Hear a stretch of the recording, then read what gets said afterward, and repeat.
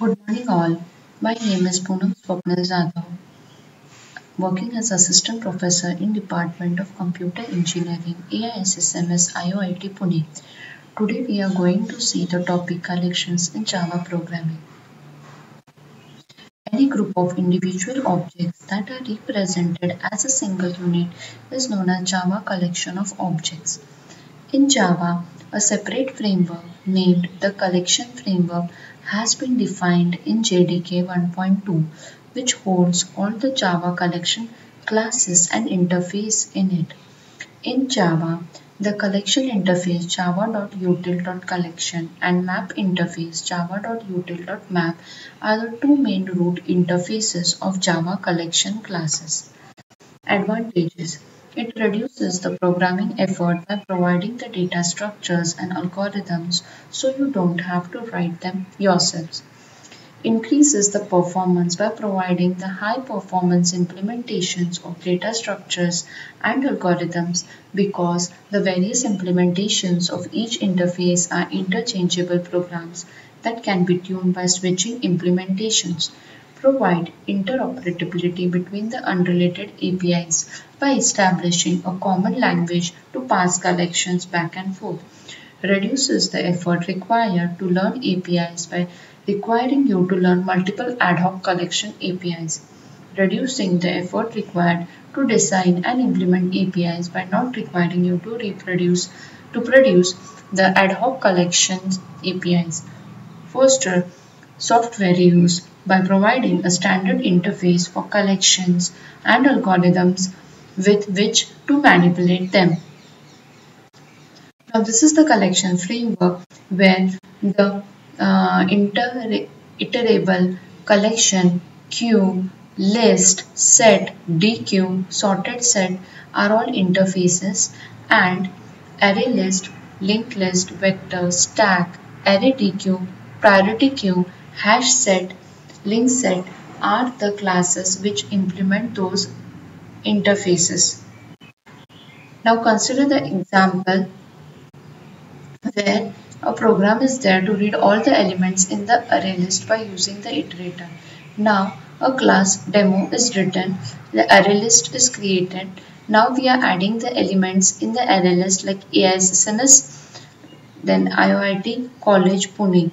Once the values are added, by the method add of the array list then we iterate it means we display it one by one using the iterator method uh, hash next and the values are displayed as AISSMS, IOIT, College and Pune.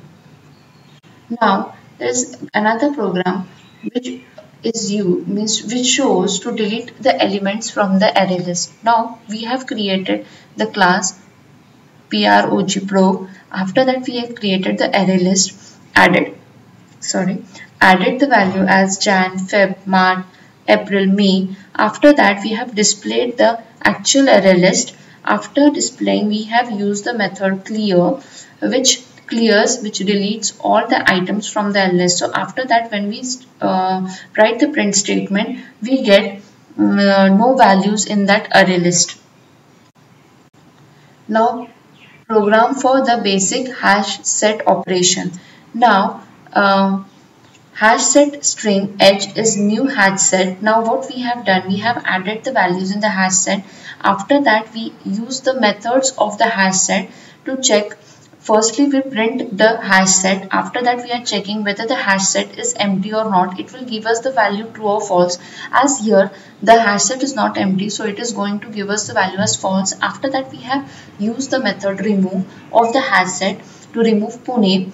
After that, we have again displayed the hash set.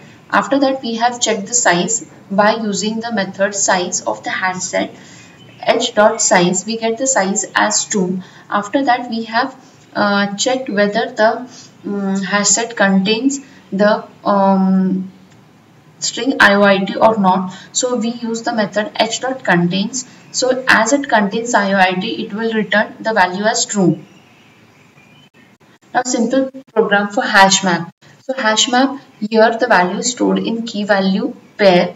So hash map firstly we create the hash map after that we put use the method put to uh, in to put the values in it to initialize it with the values so one is having uh, index 1 is having AISSMS, Q2 is having IOIT, Q3 is having Pune. After that we are printing the values after uh, key value pair. After that we are printing individual value like if I want to get the uh, value for the key 2. So we have written hmp.get2 so we will get the value as IOIT. We are checking whether the hash map is empty or not by using uh, is empty method. So it returns us as false because it is not empty. After that uh, hmp dot remove third but here third key is not there so and nothing would be removed then system dot uh, println hmp now the value key value pair would be printed after that the size would be printed using the method size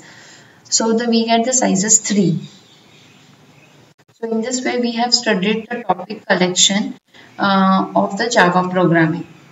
Thank you.